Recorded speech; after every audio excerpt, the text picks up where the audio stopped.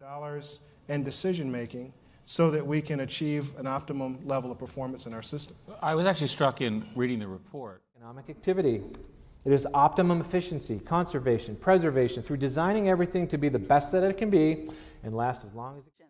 for what is the optimum exercise prescription to optimize your performance in school. They're paying a lot of money for. This is all about quality of life and trying to at least get to the optimum quality of life that you can.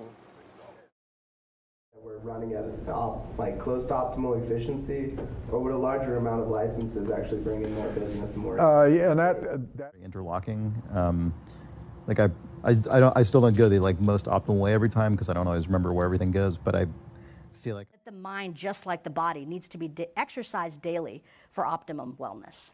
And I hope that through our continued efforts, we'll, we'll be able to.